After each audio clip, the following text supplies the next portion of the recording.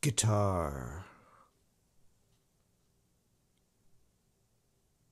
I take her down from the wall, she of the perfect hourglass figure.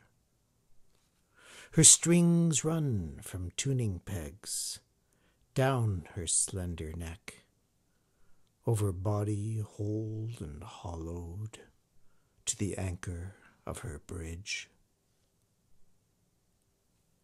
Slow twisting of her spindles, till her stretched nylons, coiled steels, hum in sympathy. And my clawed hands' arpeggios resound in her grain. I come alive to her colors jive, deep bass mauves, blue white trebles echoing through her velvety mouth. Swift riffs chord accords, slanting up and down the frets, as on my rosewood woman the music plays itself, plays me.